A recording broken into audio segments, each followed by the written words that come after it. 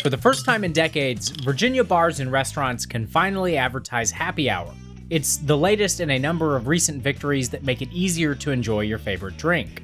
In 2019, we also saw the repeal of a law that banned distilling spirits on Native American lands, and a Supreme Court decision that could open up alcohol sales across state lines. The recent reforms we've seen in places like Virginia with their happy hour laws uh, may seem small, but they are slowly pointing us towards a better boozy future. We asked R Street's resident alcohol law expert Jarrett Dieterle about some of the most nonsensical alcohol laws. There's still a lot of uh, dumb alcohol laws in the books today, and uh, here's five examples of them. In North Carolina, good luck getting a cheap drink with buddies after work.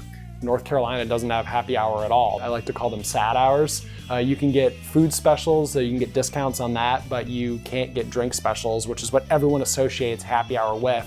They also have other, you know, weird restrictions like buying your buddies around. If you buy a pitcher of beer, for example, anything that has more than one serving of alcohol, two people have to go to the bar and pay for it. One person can't just pay it and bring it back to the table. So it's a pretty fairly depressing uh, place in North Carolina when it comes five o'clock and you want to head to the bar. And then there's Utah's Zion Curtain. It requires uh, bartenders basically to stand behind a partition or a wall when they're mixing cocktails. Uh, the Utah legislature tried to reform it and they ended up uh, making it even more complicated. The justification for the law is that they don't want the uh, children uh, or people that are sensitive, I guess, to uh, see cocktails and hard alcohol being mixed together. Um, every other state, of course, you can go into and watch a bartender actually mixing a drink and it's completely fine and, uh, and normal and hurts no one. And in Louisiana, you can't have airplane sized liquor bottles. Louisiana currently allows 100 milliliter bottles, which are twice the size of the normal airplane bottles, but they still arbitrarily draw a limit on the regular 50 milliliter size ones that we want.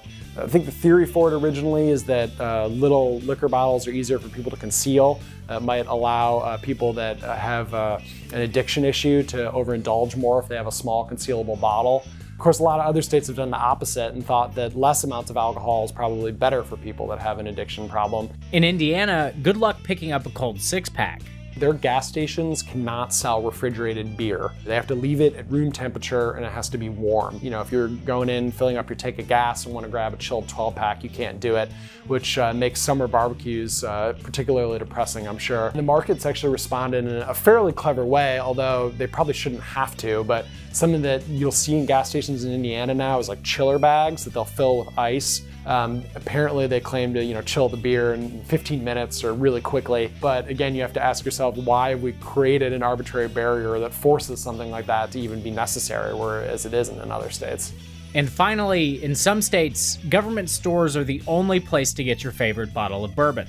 So places like Virginia, ABC stores, you actually actually have to go to a retail store run by the government of Virginia to be able to buy your alcohol. People should care because it limits their choices uh, and, and it also hurts the producers that are trying to create innovative products. So, despite all the progress that's been made in eliminating stupid liquor laws, the rules governing the sector are still often random and absurd. So, let's raise a glass to the ongoing fight for liberalizing alcohol sales.